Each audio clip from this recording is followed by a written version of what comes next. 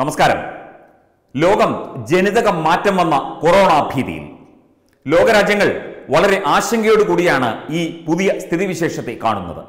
ഇന്ത്യയിലും മറിച്ചല്ല സംഭവിക്കുന്നത്. ഇന്ത്യയിലേക്കും ജനിതക മാറ്റം സംഭവിച്ച കോവിഡ് രോഗബാധയുമായി ചിലർ എത്തിയതായുള്ള റിപ്പോർട്ടുണ്ട്. ശക്തമായ നടപടികൾ മുന്നറിയിപ്പുകൾ അതുപോലെ തന്നെ പരിശോധനാ ക്രമങ്ങളൊക്കെ തന്നെ ഭാരതവും മുമ്പോട്ട് കൊണ്ടുപോവുകയാണ്. ലോകത്തിന്റെ സ്ഥിതി എന്താണ്? മരണനിരക്ക് കൂടുന്നതായുള്ള റിപ്പോർട്ടാണ് പുറത്തു വരുന്നത് പ്രത്യേകിച്ചും യൂറോപ്യൻ രാജ്യങ്ങളിൽ.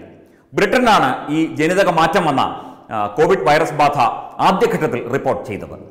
അതിനുശേഷം ഇതാ ബ്രിട്ടൻ അടച്ചിട്ടിരിക്കുന്നു. സമ്പൂർണ ലോക്ക്ഡൌണിലാണ് രാജ്യം. അവിടെ എന്താണ് ഇപ്പോഴത്തെ അവസ്ഥ? ബ്രിട്ടൻ ഈ ലോക്ക്ഡൌണിനെ എങ്ങനെ നേരിടുന്നു? ഈ കോവിഡ് ഭീതിയെ ഈ കോവിഡ് വൈറസ് ഭീതിയെ എങ്ങനെ കൈകാര്യം ചെയ്യുന്നു ഈ രാജ്യം? തത്വമേ ന്യൂസ് പ്രതിനിധി ലക്ഷ്മി സുനിൽ തയ്യാറാക്കിയ റിപ്പോർട്ട്. യു കെയിലെ ഇതുവരെ കണ്ടതിൽ വെച്ച് ഏറ്റവും കൂടുതൽ മരണമാണ് കഴിഞ്ഞ ദിവസം റിപ്പോർട്ട് ചെയ്തത്. അതായത് ജാനുവരി എട്ടിന് ആയിരത്തി മുന്നൂറ്റി ഇരുപത്തി അഞ്ച് മരണമാണ് മരണങ്ങളാണ് റിപ്പോർട്ട് ചെയ്തിരിക്കുന്നത്.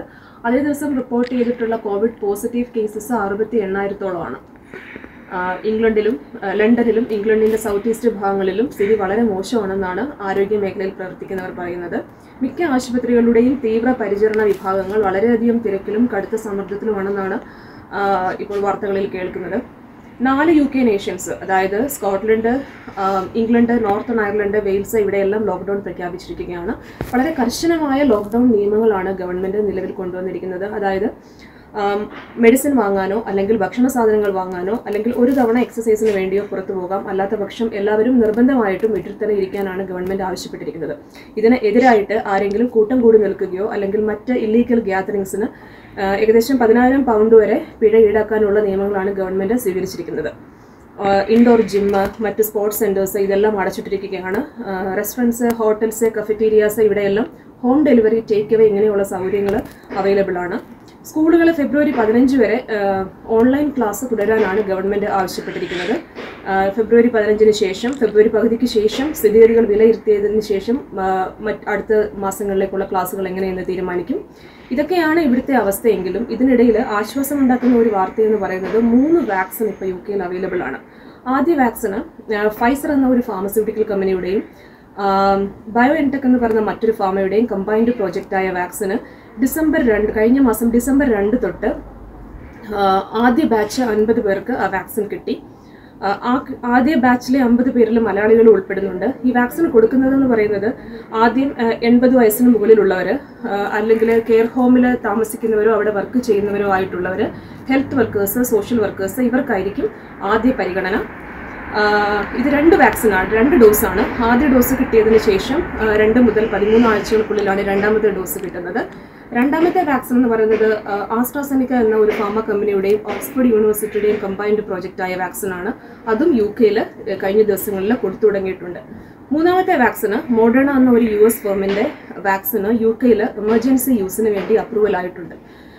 ഏകദേശം ഇതുവരെ ഒന്നര ലക്ഷത്തോളം ആളുകൾക്ക് യു കെയിൽ ആദ്യ ഡോസ് വാക്സിന് ലഭിച്ചിട്ടുണ്ട്. അപ്പോൾ ഈ- ഒരു സാഹചര്യത്തിൽ ഇങ്ങനെ മൂന്ന് വാക്സിൻ നിലവിലുള്ള ഒരു സാഹചര്യത്തിൽ എത്രയും പെട്ടെന്ന് തന്നെ രാജ്യം സാധാരണഗതിയിലേക്ക് മടങ്ങി വരുമെന്നും സിറ്റുവേഷൻ മെച്ചപ്പെടുമെന്നും പ്രതീക്ഷിക്കുന്നു. കൃത്യമായ നിയന്ത്രണ സംവിധാനത്തിലൂടെ പുതിയ കോവിഡ് വൈറസിനെ പ്രതിരോധിക്കാൻ ബ്രിട്ടന് സാധിക്കുന്നുണ്ട് എന്നാണ് അവിടെ നിന്ന് ലക്ഷ്മി നൽകുന്ന റിപ്പോർട്ട്. തീർച്ചയായും വാക്സിനുകൾ വന്നു തുടങ്ങിയിരിക്കുന്നു. മൂന്ന് വാക്സിനുകളാണ് ഇപ്പോൾ ബ്രിട്ടനിൽ പരീക്ഷിക്കുന്നത്. തീർച്ചയായും അവ വിജയം കാണും എന്ന് തന്നെ നമുക്ക് പ്രതീക്ഷിക്കാം.